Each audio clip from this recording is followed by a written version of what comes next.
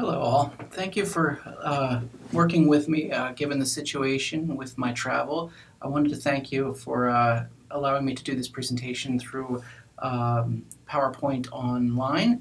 Um, so tonight's lecture will be uh, we'll be discussing dengue virus disease, and um, we will, what will happen is I will give this lecture quickly, and then very similar to the way we've been doing the, the course throughout the whole semester. Um, I'll give an introduction to the issues, and we will then, um, rather than group work, I will give you a list of questions for you to answer, um, and then I'd like you to basically fill out one to two pages um, describing the question that I have for dengue in this case, um, and then for guinea worm eradication for the next lecture. But I just wanted to go over first dengue and what the disease is, and then what some of the issues are. Uh, so unlike some of the other diseases that we've talked to, which have been mostly parasitic diseases, dengue is actually a virus. So the biology of this is so much different than the other diseases we've discussed about. Um, it is a virus that is in the flavivirus um, family and genus, and it has four different serotypes, basically four different subtypes, dengue 1, 2, 3, and 4. Uh, it's very important that you understand that there's four different serotypes because the pathology of the disease depends on how these different serotypes you get infected with. So what is it? Dengue virus is the first disease that we actually, viral disease that we actually talk about, and it's uh, also very, very um, similar to LF in that it's mosquito-borne. Uh, the um, particular mosquito species that is the um, pathogen that causes the disease is Aedes aegypti, which is probably one of the most common mosquitoes throughout the whole world. Um, there's two different forms of the disease, dengue fever and then uh, dengue hemorrhagic fever. Uh, dengue hemorrhagic fever can lead into dengue shock syndrome. We'll discuss all these a little bit later. Um, but just understanding the severity it, it increases with severity between DF, DHF, and DSS. Dengue is transmitted primarily by the, or exclusively by the uh, female mosquito, as is most diseases. They're the only ones that really bite. Um, unlike malaria, for instance, however, um, it's primarily a daytime feeder. So think about the different types of, of um, prevention strategies that you might incorporate for dengue virus um, prevention strategies such as bed nets. It may not work for that situation because people are not typically in bed during the day. Um, and then also it lives around human habitation. Unlike the other, some of the other diseases which will live in the forests or uh, like near river areas, uh, dengue virus mosquitoes actually tend to live more around the urban areas.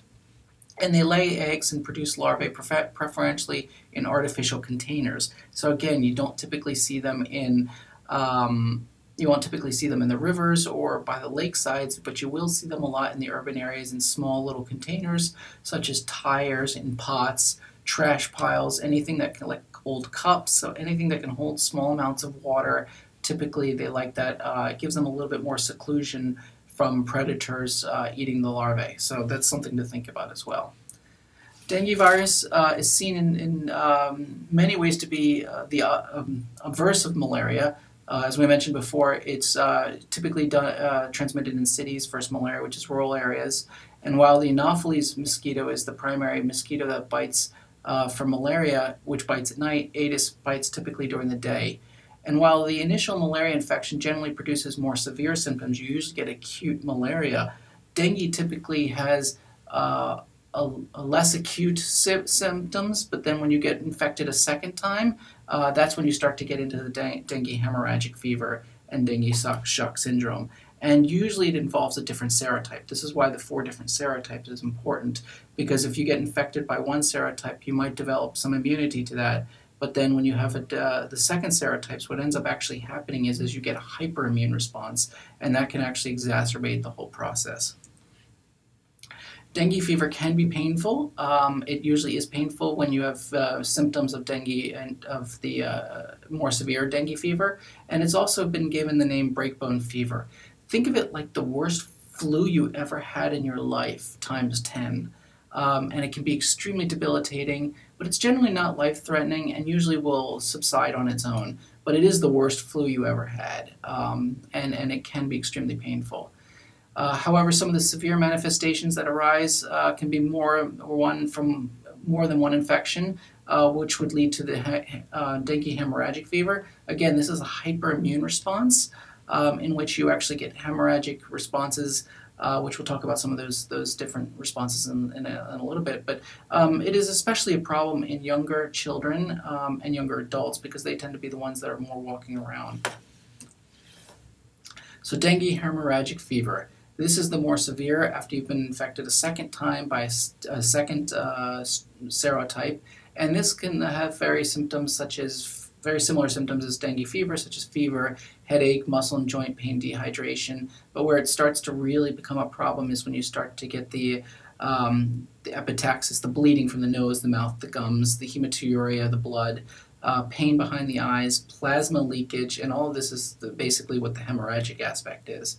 And it can be life threatening. It's extremely painful at the very least and can be very, very life threatening.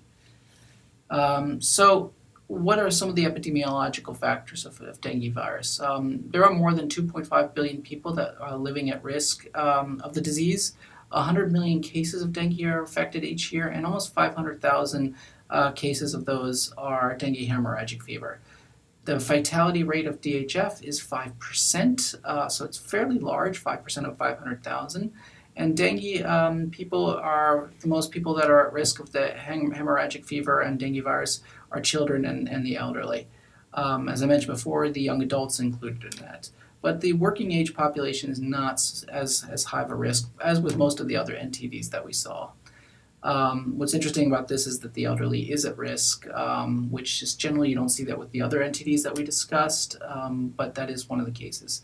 And just the, uh, the figure on the right hand side just shows the average number of dengue cases um, per year reported by WHO between 1955 and, 19, and 2007. That number is still going up. It's sort of plateauing a little bit, but just because population increases, the number is actually still increasing. So what are the areas that are most infected? You can see here it's pretty much the tropics. Um, pretty much any area in the uh, in the tropical area within those two red squiggly lines. Um, and then the countries that are most affected are the ones that are in the orange. Um, there are cases of, uh, of dengue in the countries that are not orange, but if you can see, most of those are in more arid populations or higher altitude, so the mosquito vectors are not as common in those areas, and that's primarily the reason why. Um, see the of these notes on the left. Um, just the thing that you want to be aware of is that it does cover pretty much everywhere in the world in the tropics, so it's not exclusive to Africa. Uh, a lot of it in South and Central America, and a lot of it in Southeast Asia. Um, and then also, the mosquito remains infective for up to three weeks during the course of its life. So, what is the pathogenesis of infection and process of dengue? So, humans are usually the initially infected through the mosquito vector. We talked about that. Um, the interaction the cell occurs uh, primarily targets are phagocytes. You don't need to know the details of this. Just know basically that it kind of has this um, the the individual receptors you don't need to know, but just understand that the cycle is basically human to man, human to man, and there are animal vectors involved as well, uh, animal reservoirs, I should say. Uh, the disease course, um, there's three main phases. You have the febrile, the critical, and the recovery. You have that acute, you know, that low-level acute phase, but it's usually not as acute as I mentioned with malaria. But the critical stages is where if you've been infected before, you get the toxic, you get the um, toxic uh, uh, hemorrhagic toxic, dengue toxic hemorrhagic aspect of it, which can be a problem and life threatening, and then just the dengue hemorrhagic uh, fever as well, which is the shot uh, occurs during the critical. Typically, what you'll get is, is you'll get an immune response after that, and uh, you, will get recovery. But again, if you don't die from the hemorrhagic aspect, um, and uh, you usually do make a full recovery. What are the diagnostic tests available? Um, very, very few and very expensive. Unlike some of the other ones that we've discussed, they're very difficult. They're usually, uh, they're all pretty much, um, uh, uh they're all pretty much diagnostic based, a sero- serological di- diagnostic based, um, which include virus isolation by the mosquito. Um, you can inf- uh, infect the mice to actually see if they've been in, uh, infected with the uh, virus detection of uh, antibodies in the blood by PCR viral isolation serology, very expensive. ELISA is another way you can do it. Um, some of the less um, less serological or Uh, molecular-based diagnostics include looking at um, the blood itself if you have raised hematocrit or thrombocytopenia. Uh, not necessarily uh, high specificity, but they can give you an idea of the infection. Um, if you want high specificity, you really need to get to the ELISAs or the PCR methods. So, what are the treatments? Um, as of right now, there is no treatment available for dengue hemorrhagic fever or dengue fever. Um, there is no treatment for the actual disease, um, and there is no vaccine available. Some vaccines are being tested. In fact, there's a couple of large scale vaccine tests being conducted right now um, throughout the world on some of these countries. Uh, in a lot of countries, they're doing different tests, but none of them have reached uh, you know, past past phase three. Treatment. Um, the available treatments that are there are for really relieving the symptoms and the complications. Uh, replacement of plasma if you have hemorrhagic fever, um, sedative, blood transfusions, and then aspirins and various painkillers for uh, dealing with the pain aspects. The big thing you want to focus on when you're dealing with dengue is more the prevention strategies. Uh, what can you do to eliminate the breeding areas of the mosquitoes? What actions can you do to prevent them from biting? And then uh, we mentioned the vaccines that hopefully will be uh, online in the next five years, um, available for a large scale distribution. But as of right now, it deals mostly with the prevention using uh, how do you prevent the mosquitoes from breeding or how do you kill them, and then also how do you prevent the mosquitoes from biting. So, what are the, some of the control that we can use? Um, to reduce the female vector density uh, below the epidemic levels uh, will not occur, so how can we deal with it? Based on the assumption that eliminating or reducing the numbers of the habitats in the domestic areas can control it, we want to focus on the domestic areas. Um, and what I mean by this is I mentioned that a lot of this is in the urban areas with small containers, so you want to eliminate the mosquitoes' breeding sources, such as covering water containers, um, anything that like septic tanks you have in a lot of developing countries you just have open sewer lines. So shutting them blocking them off.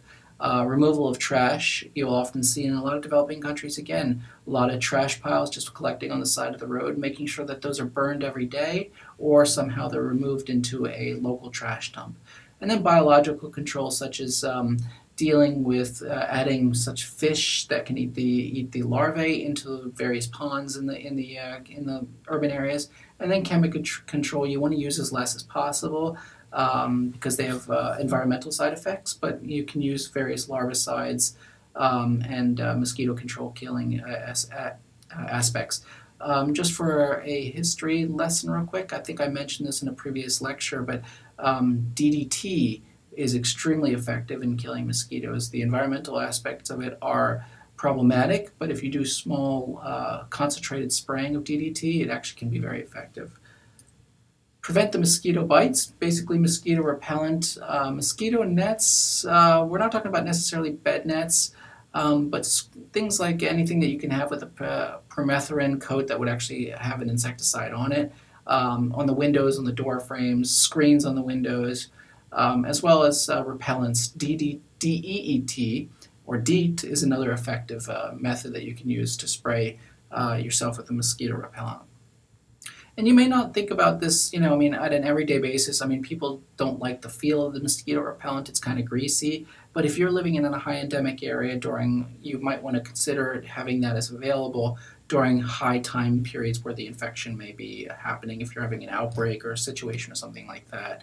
Um, you would actually want to advise them to do it every day, but reality is, is that you have to think about what people would actually realistically do. Um, provisions of reliable water, uh, reliable refuge uh, collection, house to house inspections to control mosquitoes, house to house spraying, and then education campaigns are also extremely critical. So, after you've actually implemented your strategy, how do you actually surveillance, do surveillance?